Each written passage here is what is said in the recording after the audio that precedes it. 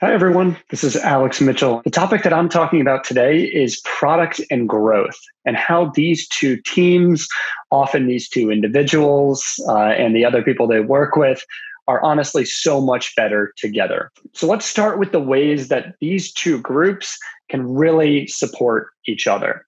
So one of the first ways that I found as a person over in product who works often with with growth folks that that I can you know be greatly supported is getting these growth experiments uh, and getting the data from those growth experiments and doing what I'm calling data driven roadmap additions. So anyone who's been in product management knows, you know, as you're adding things to the roadmap, you have different levels of confidence around those items you're adding. Um, you know, some may be very, you know, kind of heavily justified with in product data. You know that you know x amount of percent of people are likely to use this feature. It's been asked for by a certain percent of people. You know maybe even what the, the pricing sensitivity is on it. You, you have a lot of information. And then on the other end of the spectrum you might have items on your product roadmap that are not very validated right? They're they're intuition they're based on where the industry is going they're based on where you guys think there's an opportunity. And so what growth can provide is a way to add additional data to those those items that you're maybe a little bit less certain about. And so it's great to lean on your growth team challenge them with this problem you have and see what experiments they can put out there into the real world to get you rapid feedback on those items another one is is for product to actually go the other way and unlock growth testing opportunities.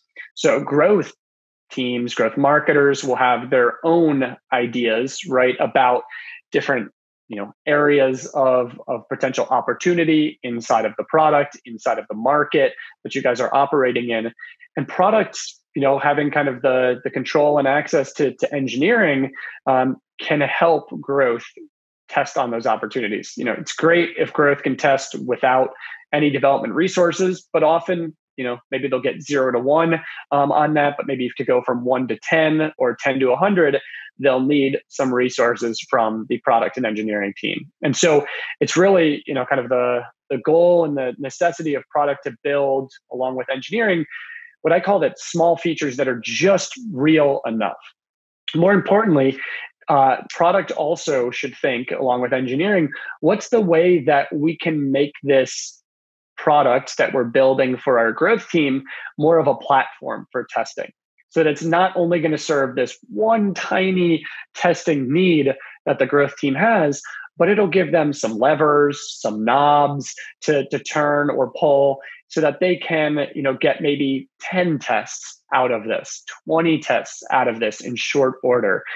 Essentially, you're trying to build something quick just real enough with a lot of levers and knobs for your growth team and really generate something that can unlock dozens of tests for that team. So support each other by product kind of unlocking these high value, high leverage growth testing opportunities product and growth work closely together at, at a lot of companies. Um, but it's important to, to have a little bit of structure around the way these teams work together. And so in your product manager and in your growth marketer you have probably two of the most creative um, fast thinking idea generating people at your company.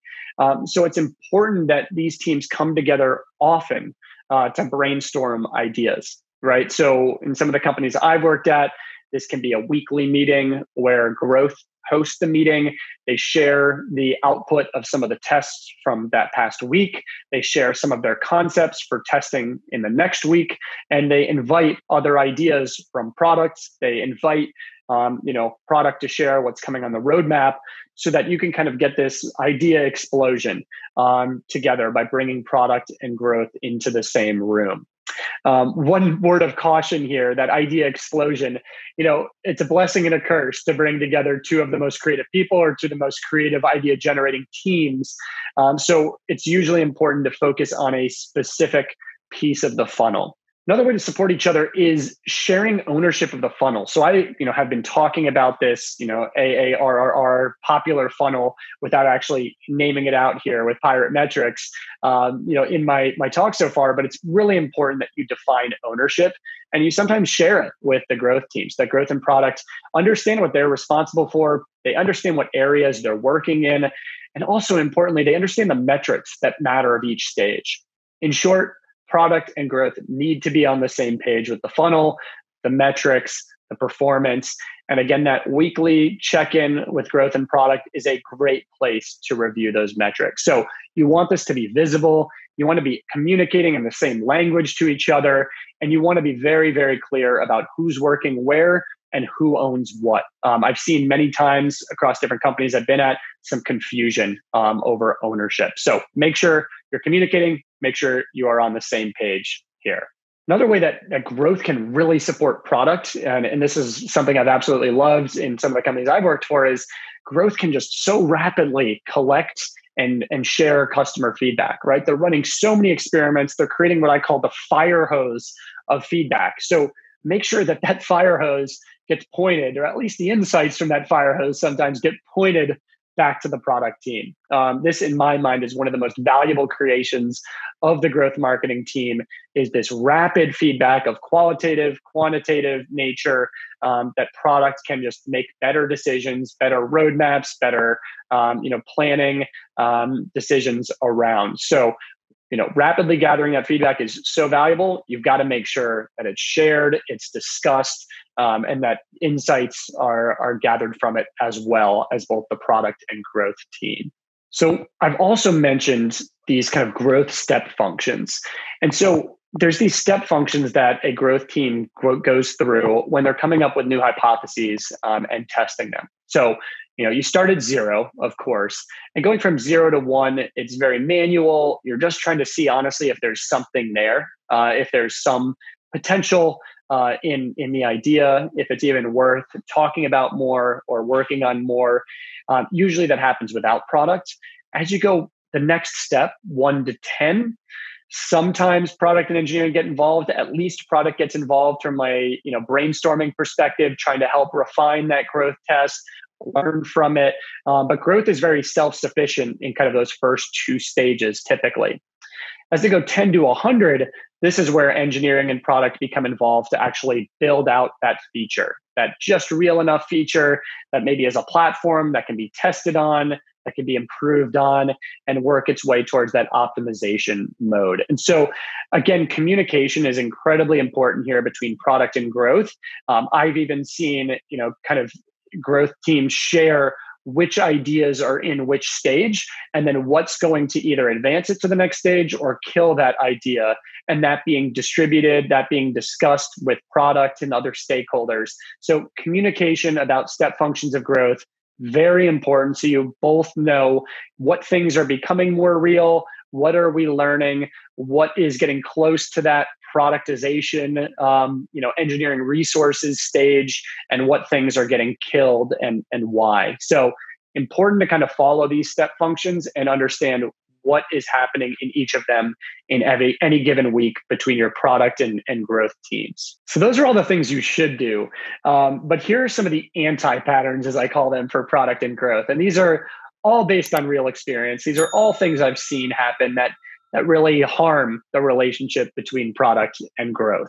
So the first one, right, the opposite of, of what we were just talking about there is this failure to share learnings or feedback. And so growth teams and product teams are often moving so quick and they have so many things to do and they're trying to communicate, you know, maybe to all of their stakeholders, but they might not be talking with each other. You know, a test failed, eh, you know, that test failed, let's move on. Let's not waste time sharing it with others bad decision. Um, these, you know, failures to share learnings and feedback, they might not hurt, you know, one time or two times, but it adds up. Eventually, the product team will start make, making suboptimal choices. I've even seen the case where you know tests are run multiple times because it wasn't socialized before the results of a test. So sometimes you just waste tests and ultimately you slow the growth of a company because you're not learning um, you know what's coming out of these tests good bad or neutral that information needs to be shared. It needs to be understood because it impacts the product roadmap it impacts the direction of the organization it impacts you know pretty much everything. And so make sure those learnings and feedback are shared. Another anti-pattern is you know failing to actually test you know product ideas. And i've i've been guilty of this. You have such a strong product intuition. You think you know this new feature is is going to be you know well received by everyone um, but you know devil's in the details. With any new feature there are so many pieces of that feature often that that you know you're kind of taking guesses on and they might be educated guesses but why not take advantage of this growth team you have to test some of those aspects of the the idea to really help you confirm you know not only that the feature is worth building or not but what degree you know do you need to build? What is that you know minimum viable product to use an overused term? But where is the the sensitivity there? What are the sub features that actually matter and that get people excited and, and retained or you know activated? And what are the ones that you know are a little bit more distant maybe not as as valuable? So leverage your growth team let them help you shape how this feature develops.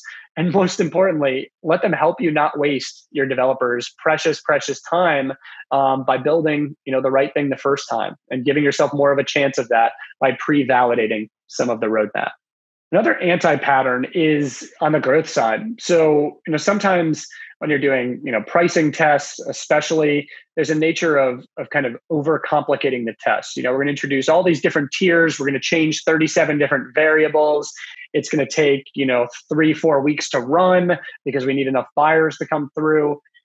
While every now and then you may need you know a test that is a little bit longer duration or one that is a little bit more complex try and avoid these. Um, slow tests simply prevent you from learning other things, right? They eat up your testing capacity, they eat up your mental capacity. And honestly, complicated tests mean complicated results. It's going to be harder to sort through. It's not going to be as easy to explain. Um, you might end up more likely with a test result that that is, you know, up in one way, down in another. That's not super helpful. And honestly, at, at most stages of, of company growth, time is everything. So you need quick tests, you need simple tests as, as much as possible. And product and growth through that brainstorm phase can collaborate on ways to make those tests quicker, to make them simpler. Incredibly important to not overcomplicate your testing. Another one that I've I've certainly seen before is playing the blame game. So, you know, product growth, especially at earlier stage startups, you're going to be trying so many different things tests are going to fail more often than they're going to succeed. Um, and it's really important as the product and growth teams you know challenge each other during those those brainstorming stages challenge each other on the metrics that matter and how how to move those metrics but don't play the blame game when tests fail. They're going to fail more often than they succeed. Uh, and honestly a big fail in a test is actually a great learning. Um, i always say neutral is the worst result for testing. So if you have a big fail you can learn a lot from that. And you can often try the complete opposite thing of what failed to see if you can get a win out of it. Um, so startups, you know, it's it's a silly expression, but it's a, a team sport, right? you you need to challenge each other but you're going sort towards the same goal you're going towards the same objective so be on on the same page and really support each other don't play the blame game learn from tests celebrate failures uh, you can you can definitely uh, gain a win out of a fail uh, pretty quickly if you kind of approach it the right way. And one of the last ones here is about those funnel stages. So it's definitely an anti-pattern to get overly focused on one stage of, of the development lifecycle um, or the activation funnel. Don't neglect the different stages. You know if you've only been testing in the activation stage or the awareness stage for a quarter take a look at at retention take a look at referral um, take a look at revenue you probably are missing some low hanging fruit um, in these kind of down funnel stages that product can help support growth in you may find those easier wins. And honestly, just keep the goals of your startup or your business in mind. Um, those goals will shift. You know, as a startup matures, they might care more about revenue instead of just activation. Um, they might care more about you know referrals in you know to lower the, the acquisition cost of new users so pay attention to those as a product or growth person and make sure you're spending the proportionate amount of time with your testing and with your development in the right uh, funnel stage.